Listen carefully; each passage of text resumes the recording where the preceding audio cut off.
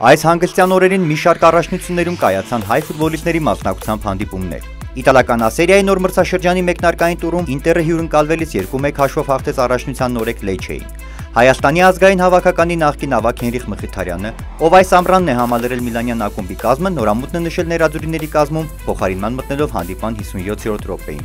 Հանդիպան հաշիվը երկրորդ րոպեին բացեց Միլանյան ակումբի հարձակվող Ռոմելու Լուկակուն իսկ 48-րդ րոպեին դաշի տերերը կարողացան հավասարեցնել հաշիվը։ Մրցավարի կողմից հանդիպման հիմնական ժամանակին ավելացրած 4-րդ րոպեին Միլանյան ակումբին հաղթանակ պարգևեց Դենզել Դումֆրիսի խփած գոլը։ Բունդեսլիգայի երկրորդ տուրում Լայպցիգը 2-2 հաշվով ոչ ոքի խաղաց Քյոլնի հետ։ Հանդիպման հաշիվը 36-րդ րոպեին բացեց Տիմո Վերները։ Սակայն 4 րոպե անց Ֆլորիան Վիցը հավասարեցրեց հաշիվը։ 56-րդ րոպեին Քրիստոֆեր Նկունկուն նորից առաջ մղեց Լայպցիգին, իսկ 72-րդ րոպեին դաշտի տերերից ինքնագոլի հեղինակ դարձավ Յոշկո Գվարդիոլը։ Հայաստանի ազգային հավաքականի ֆուտբոլիստ Սարգիս Ադամյանը փոխարինման մտավ 73-րդ րոպեին։ Լեհաստանի առաջնության 5-րդ տուրում Պոգոնը 2-2 հաշվով ոչ ոքի խաղաց Պլոսկի հետ։ Հայաստանի ազգային հավաքականի կիսապաշտպան Վահան Վիճակչյանը թիմի կազմում փոխարինման մտավ 61-րդ րոպեին։ Պոգոնը 5 խաղից հետո 10 միավորով երրորդ տեղում է եւ 3 միավորով զիջում է առաջատար Պլոցկին։ Ռուսաստանի Պրեմիեր լիգայի 5-րդ տուրում Կրասնոդարն արտագնախաղում գոլազուրկ ոչ ոքի խաղաց Դինամոյի հետ։